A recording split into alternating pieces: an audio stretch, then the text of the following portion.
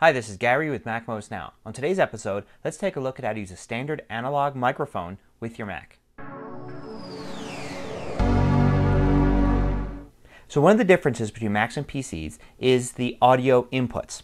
Now on PCs you very often get both a line in input and a microphone in input. But on Macs you only get a line in input. Now what's the difference? Well a line in input expects a standard audio signal that usually comes from a powered source.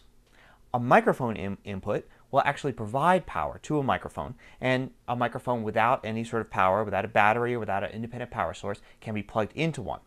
It will then convert this audio into a digital format which then can be used by programs in the computer.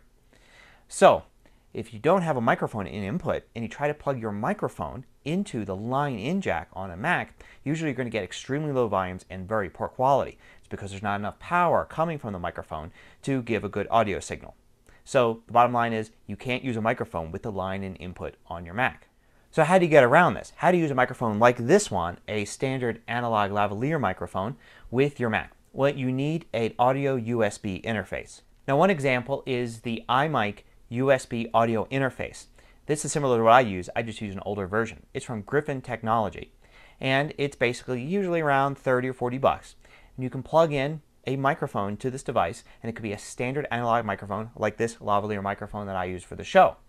And this will work for just about any program you use including things like GarageBand, Audacity, any recording medium that you want to use. And it will also work as a microphone if you're doing web chats. The microphone I use, by the way, is the Audio Technica ATR 35S right here.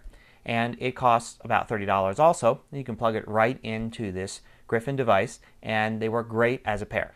Now of course you can go even higher end than that. Spending over $100 will usually get you a small mixing board capable of perhaps having even more than one microphone input and maybe adjusting the volume and quality of that input as well. Or you could actually just skip the two device method and go with a USB microphone. As far as I know, there aren't any lavalier USB microphones, which is why I use this setup, but you can get standard desktop microphones or headsets that go directly into USB. Quality varies greatly and usually you get what you pay for, so buying a cheap USB microphone usually gets you bad quality.